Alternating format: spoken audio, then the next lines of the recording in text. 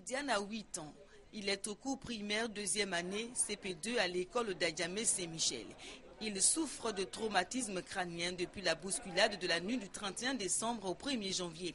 Il fait partie des élèves blessés et traumatisés des événements. Les ministres de l'Éducation nationale et de la Santé de la lutte contre le VIH-Sida ont rendu visite à ces élèves pour les soutenir. Malheureusement, parmi les blessés, il y a beaucoup d'élèves, de jeunes enfants, dont des élèves. Et donc, en tant que ministre de l'Éducation nationale, nous avons tenu à venir au nom de la communauté éducative apporter notre compassion euh, à tous ces blessés, apporter le réconfort de toute la communauté éducative, leur souhaiter un prompt rétablissement.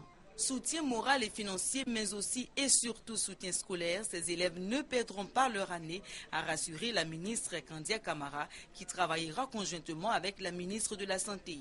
Nous allons voir les directeurs d'école, d'abord pour les informer officiellement euh, des absences de ces élèves-là. Nous allons veiller à ce qu'un programme spécial leur soit réservé pour qu'on puisse rattraper le temps qu'ils vont perdre. Lorsque les enfants seront libérés, nous allons euh, faire en sorte qu'il y ait un suivi médical n'est-ce pas, pour que euh, jusqu'à totale guérison, ces enfants puissent être pris en charge. Je précise que le président de la République a bien insisté, nous a instruit, afin que tous les blessés soient pris totalement en charge. En des situations pareilles, une visite n'est jamais de trop. Ngolo Koulibaly, médiateur de la République, vient à son tour ce vendredi au chevet des malades.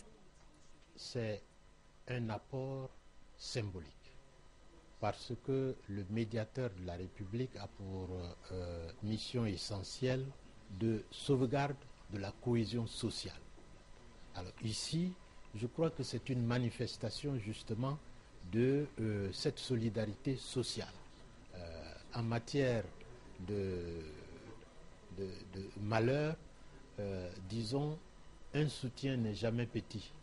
Des soutiens financiers ont été apportés aux blessés par le médiateur. Les médecins-chefs du centre hospitalier université de Cocody et ceux de la PISAM ont assuré aux visiteurs que l'état de santé des malades s'améliore. Ils pourront tous regagner leur domicile d'ici le début de la semaine prochaine.